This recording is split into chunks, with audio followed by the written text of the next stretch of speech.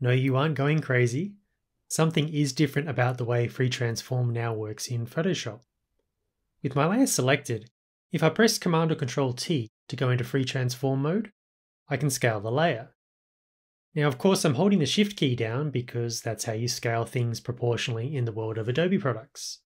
However, the aspect ratio isn't being respected. What's going on? Well, you no longer need to hold down the Shift key to scale something proportionally in Photoshop. If you don't like this change, there is an option that you can activate to revert to the previous way of doing things. Open up the General section of the Preferences. On a Windows machine, you will find it under the Edit menu. Here on a Mac, you will find it under the Photoshop menu. The option you are looking for is Use Legacy Free Transform.